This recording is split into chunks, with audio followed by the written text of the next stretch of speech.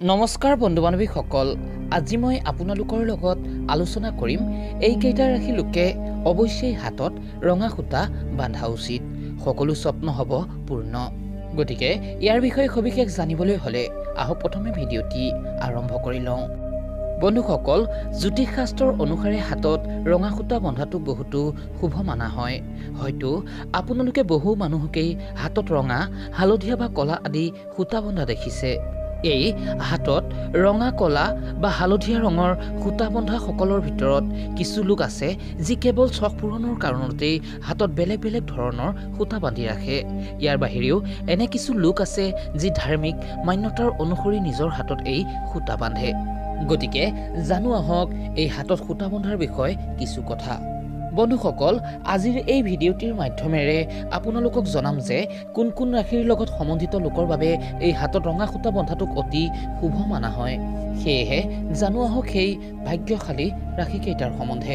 বন্ধুসকল ইয়াৰ ভিতৰতে এক নম্বৰতে হ'ল সিংহ ৰাশি কোৱা হয় যে এই সিংহ ৰাশিৰ লগত সম্বন্ধিত লোকে যদি হাতত ৰঙা সূতা বান্ধে তেন্তে তেওঁলোকৰ বাবে ইয়াক বহুতো শুভ ও লাভদায়ক মানা হয়। এই ৰাশি লোকে যদি হাতত ৰঙা সূতা বান্ধে তেন্তে তেওঁলোকৰ ভগৱানৰ শক্তি লাভ হয়। ইয়াৰ লগতে এওঁলোকৰ ব্যৱসায় ও চাকৰিৰ ক্ষেত্ৰতো মিলে সফলতা। যদিহে এই ৰাশি লোকে সম্পূৰ্ণ বিশ্বাস ও শ্ৰদ্ধা সহিত হাতত এই ৰঙা সূতা বান্ধে তেন্তে এওঁলোকৰ যদি কাৰোবাৰ লগত সঁচা ভালপোৱা থাকে তেন্তে সেই ভালপোৱা লাভ হয় আৰু এওঁলোকৰ জীৱনত পজিটিভিটি বাঢ়ে। দুই নম্বৰতে হ'ল কৰ্কট ৰাশি এই ৰাশি লোকৰ বাবে হাতত ৰঙা সূতা বন্ধাটোক বহুতো শুভ মনা হয়। কোৱা হয় যে এই ৰাশি লোকে যদি হাতত ৰঙা সূতা বান্ধে তেন্তে তেওঁলোকৰ ব্যৱসায় বাণিজ্যত লাভ মিলে লগতে মা লক্ষ্মীৰ কৃপা প্ৰাপ্তি হয়।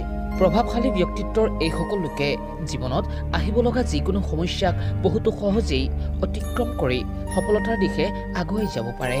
কিন্তু এই কৰ্কট ৰাশি লোকে এই কথাটি ধ্যান ৰাখিব। এই ৰঙা সূতা হাতত মংগলবাৰৰ দিনটিত বান্ধিব আৰু বজৰং বলীৰ দৰ্শন কৰিব। এনে কৰিলে এওঁলোকৰ জীৱনৰ পৰা সকলো দুখ কষ্ট দূৰ হৈ উঠিব আৰু জীৱনলৈ সুখ শান্তিৰ আগমন ঘটিব। তিনি নম্বৰতে হৈছে মিথুন ৰাশি।